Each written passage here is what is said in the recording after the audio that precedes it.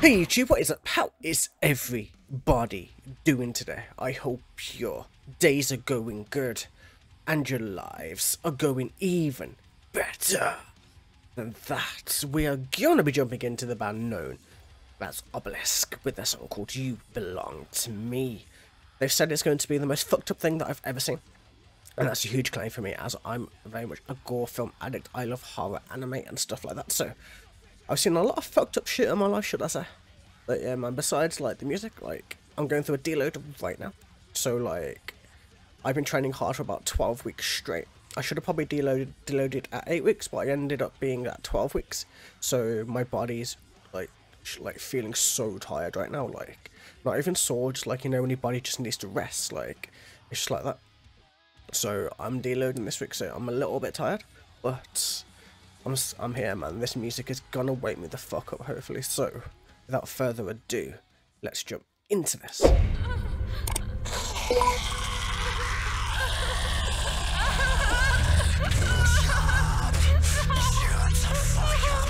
At least there's lyrics on this one.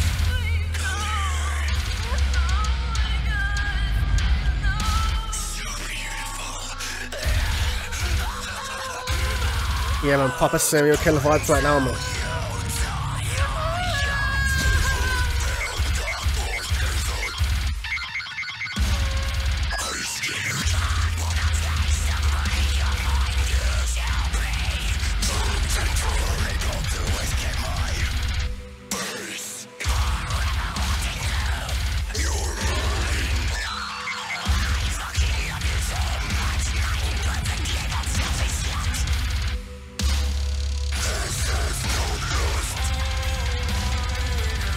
Well, this clean stuff. Look at.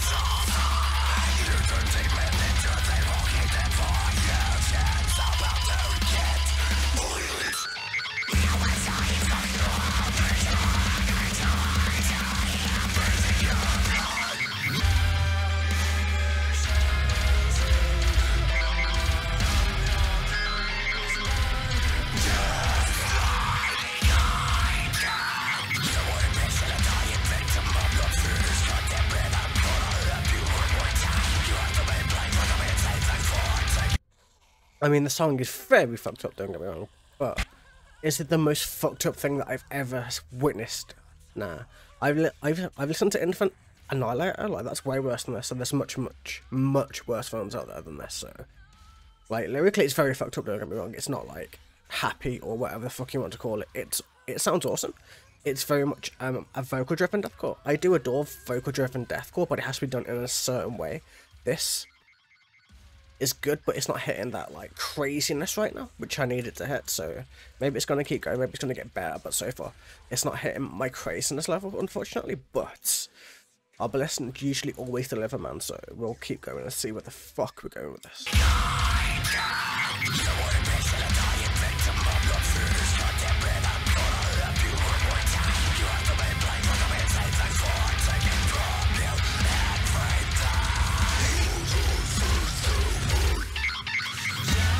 I love the little um technical elements in there, you know, the, the technical, the death elements. They're, they're, they're very cool.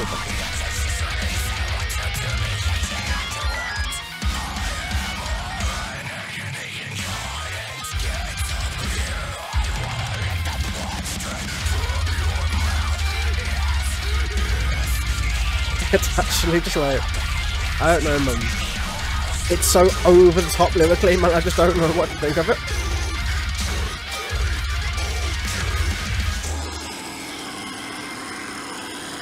I love his vocals, his vocal range is insanity to be fair though. It's finally getting to that insanity moments that I wanted to get to though, so let's see man. It's about to drop, I know.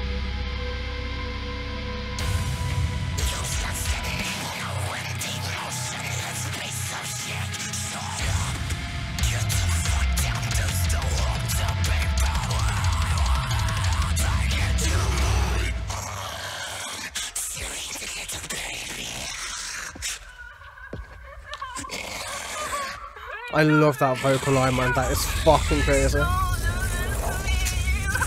Ooh, that's ominous as shit, mate.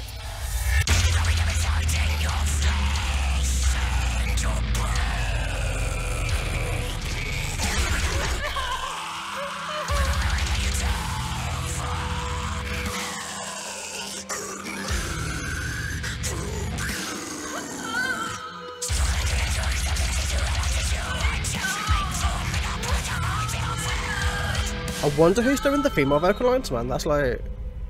I wonder who agreed to that, man. That's crazy. But yeah. Crazy. Like, over the top, like in so many different ways, man, but and crazy in so many different ways, but I like it. It works, man. It's like... It's not the normal style of deathcore that you listen to and I listen to on the daily. It's just one of those, um bands which just kind of push the envelope a little bit, and that's definitely what Obelisk are doing, man, because that's what Infant Annihilator did. They pushed the boundaries of where you could go with what you're trying to say, or sing, or growl, or whatever the hell you want to call it. Sorry, my camera's being a dick today. It's literally not focusing for anything, so you're to have to forgive my camera quality on this video, man.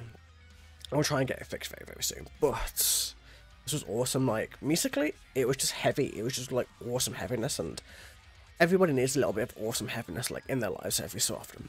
Sometimes you just need that kind of like vocal driven like heaviness, darkness, brutality, like so many fucked up like themes in this fucking song about rape and destruction, about using um somebody you you are holding captive as your fucking sex slave, like okay.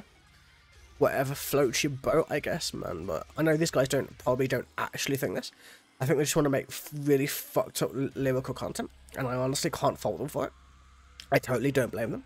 I would totally do the same thing in that position. I would totally just push the boundaries as much as I possibly could, while also staying true to what I wanted to do within the music. And like, I think like the song isn't the best Obelisk song I've ever heard, but it's definitely sending a message, and I think that's the point.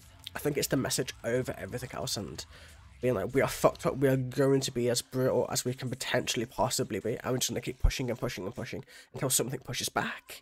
So yeah. And is anything ever going to push back considering? Probably not, so we're just going to get more and more and more fucked up as time goes on, so I honestly can't wait for that shit to happen. But yeah, man, I hope you guys enjoyed. This was awesome. Thank you for messaging me on YouTube or like, you know, leaving a comment like, Obelisk, I appreciate it, you guys. You guys are awesome. Fucking love everything you guys do, man. Have a wonderful day, everybody. Have um, have an have an awesome evening, day, evening, or night.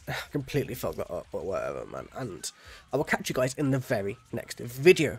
We're almost at 900 subs, man. We're getting closer to the ever changing 1,000 subs. How fucking insane is that, man? Feel free to hit the subscribe if you enjoy my content. And yeah, man, take it easy.